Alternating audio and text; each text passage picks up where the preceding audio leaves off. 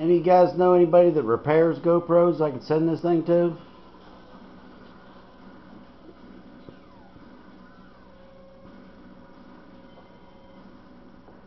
It's been played with hard, and put away wet.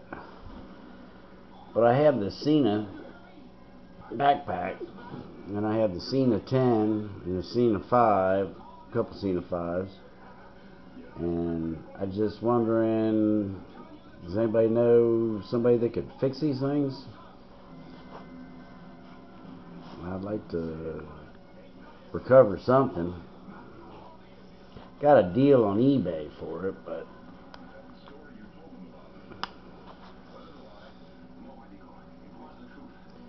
thought maybe you guys might be able to give me suggestions. Sometimes you guys are really good about that stuff. But okay, YouTube, I'll see you.